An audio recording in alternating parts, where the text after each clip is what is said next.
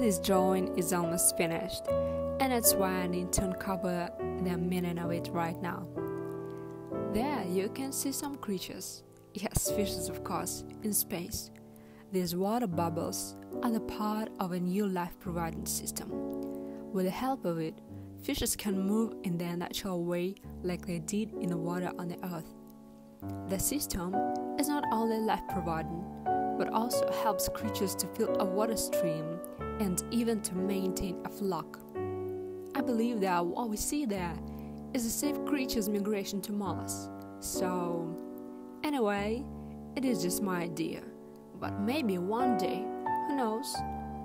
Hope you enjoy this and see you next time very soon. Bye.